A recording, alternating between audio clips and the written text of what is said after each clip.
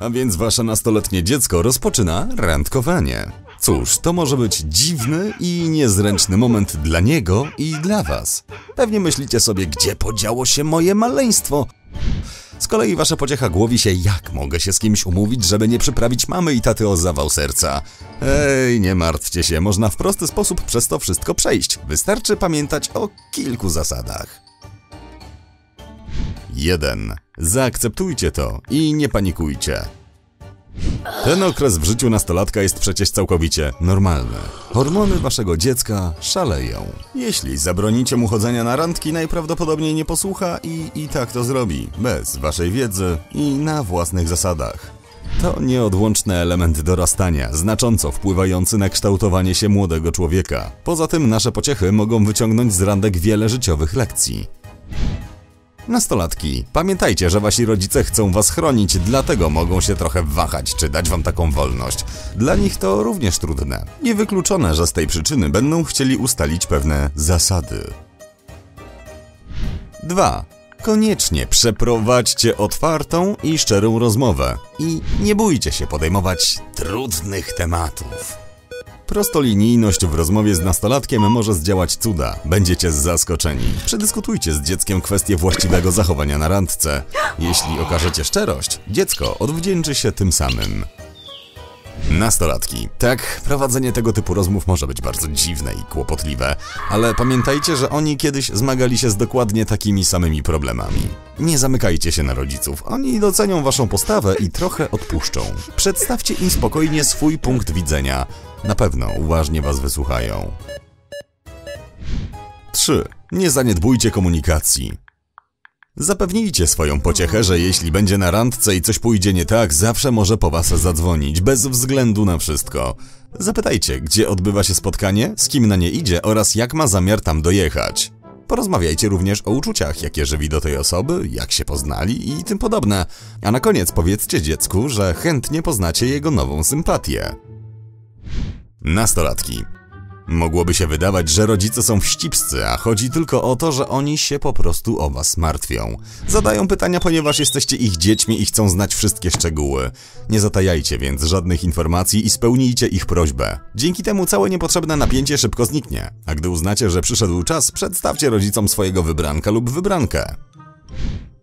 4. Bądźcie poinformowani. Trendy randkowe są teraz inne niż w waszych czasach. Spróbujcie dowiedzieć się, jak obecnie poznają się młodzi ludzie. Warto przede wszystkim sprawdzić różne smartfonowe aplikacje i zorientować się, jak nastolatki korzystają z internetu. Do wirtualnej rzeczywistości przeniosła się lwia część życia towarzyskiego. Zadawajcie więc dorastającym pociechom pytania i ufajcie swojej intuicji.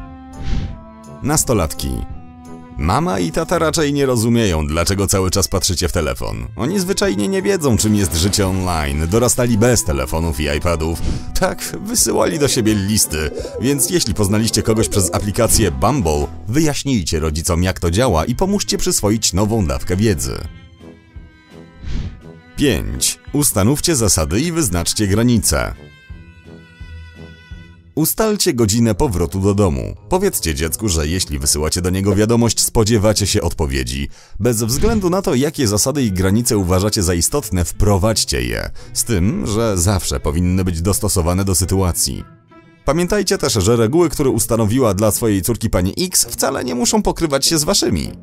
Łamanie zasad oczywiście nie może pozostać bez konsekwencji, ale jeśli będziecie zbyt surowi, nastolatek przypuszczalnie zacznie się buntować. Wówczas relacja stanie się toksyczna, a tego raczej nikt nie chce, prawda? Zapewnijcie swoje dziecko, że mu ufacie, jednocześnie zdecydowanie wyrażając swoje oczekiwania. Nastolatki. Postępujcie zgodnie z nakreślonymi zasadami. Wracajcie do domu o wyznaczonej godzinie i szanujcie to, co mówią wasi rodzice. Reguły mogą wydawać się irytujące, oczywiście, ale wasi rodzice ustalili je, żeby zapewnić wam bezpieczeństwo. Złamanie jakiejś zasady niestety wiąże się z reperkusjami. Im bardziej przestrzegacie reguł, tym większym zaufaniem będą darzyć was rodzice. 6. Akceptujcie osoby, z którymi umawia się wasze dziecko. Cóż, serce nie sługa. Wcześniej dzieci wybierały sobie szkolnych i podwórkowych przyjaciół, a teraz w okresie dojrzewania szukają miłości. Nie oceniajcie więc ludzi, z którymi chcą chodzić na randki. Zabranianie swojemu dziecku spotykania się z jakąś osobą może prowadzić do sytuacji rodem z Romea i Julii, a to nie wróży niczego dobrego. Jeśli jednak wybrany lub wybranka waszego dziecka nie przypadła wam do gustu z jakiegoś ważnego powodu, wróćcie do punktu drugiego i trzeciego. Przeprowadźcie otwartą i szczerą rozmowę. Nastolatki. Gdy chcecie rozwiać wątpliwości rodziców co do osoby, z którą się spotykacie, po prostu ich ze sobą poznajcie. Nie trzymajcie tożsamości swojej sympatii w tajemnicy. Nie wmawiajcie sobie, że rodzice nic nie rozumieją. Tak nie jest. Zanim więc wybierzecie się na kolejną randkę, zaaranżujcie spotkanie z rodzicami. 7. Wspierajcie różnorodność. Pierwsza osoba, z którą umówi się nastolatek, prawdopodobnie nie będzie tą jedyną. To niezwykły okres w życiu waszego dziecka, więc po prostu pozwólcie mu się dobrze bawić. Zachęćcie swoją pociechę do spotykania się z różnymi osobami i poszukania odpowiedzi na pytanie, czego oczekują od przyszłego partnera. Dziecko nauczy się, jak należy traktować drugiego człowieka i jak sami chcieliby być traktowani. To znakomita szansa, by nastolatek odkrył samego siebie i swoje priorytety. Możecie również podzielić się z dzieckiem własnym doświadczeniem, podsuwając mu różne sposoby spędzania czasu na randce, dzięki którym da się szybko przełamać lody. Nastolatki, umawiajcie się z różnymi ludźmi, poznawajcie różne typy osobowości. Macie jeszcze mnóstwo czasu, aby ułożyć sobie życie. Spróbujcie więc dowiedzieć się, jakie cechy podobają wam się u innych i zastanówcie się, jakie odczucia w was wywołują. Odkryjcie, czego potrzebujecie w związku i na co zasługuje druga osoba. Podczas randkowania można naprawdę zgłębić prawdę o sobie. No i przede wszystkim za bardzo się nie przejmujcie. Tak, randki bywają niezręczne, ale nie zniechęcajcie się. Bądźcie kreatywni. Nuda i rutyna to wasi wrogowie. 8. Pozwólcie swojemu dziecku popełniać małe błędy. I oczywiście nie dopuszczajcie, żeby popełniali te wielkie, które nieodwracalnie zmieniają życie. Przypomnijcie sobie czasy, kiedy sami randkowaliście. To porażki i błędy czynią człowieka silniejszym. Tak podpowiada doświadczenie. Porozmawiajcie więc ze swoją pociechą o wpadkach, jakie wam przytrafiały się na randkach. Pewnie będziecie mieli niezły ubaw. Waszemu dziecku też zdarzają się różne błędy, ale trzeba wierzyć, że jest wystarczająco mądre, by wyciągnąć z nich naukę. Napominanie oskarżycielskim tonem to najgorsze, co można wówczas zrobić. Nastolatki. Kiedyś na pewno coś pójdzie nie po waszej myśli. Spodziewajcie się również krępujących sytuacji. Rozwiązanie? Warto nauczyć się z tego śmiać i mieć dystans. Chodzi przecież o ważne życiowe lekcje.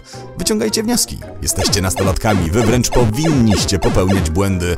A jeśli będziecie wiedzieli, jak dzięki pomyłkom stawać się mądrzejszym, pomogą wam one się rozwinąć. A to zaprocentuje w przyszłości. Wasi rodzice zdają sobie sprawę, że parę razy się potkniecie.